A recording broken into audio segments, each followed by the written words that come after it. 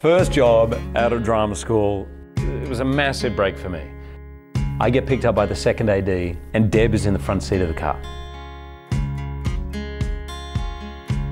She had sunglasses on, and I forget, she took off her seatbelt and she turned around on the front seat with her knees on the front seat, and put out her hand and took off her sunglasses and said, Hi, I'm Deborra-Lee Furness.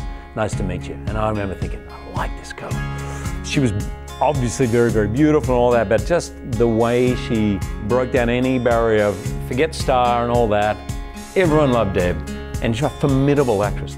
He said, I've got a crush on you. I went, oh, I said, oh, I've got a crush on you too. And that's like, then we admitted it.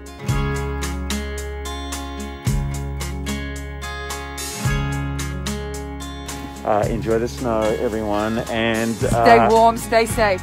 my family and Deb have sacrificed. And I've turned down stuff because I thought I'd all too much. Uh, there's been times, I remember when I did Les Mis, Deb was like, look, this is going to be difficult, but you've got to do that part.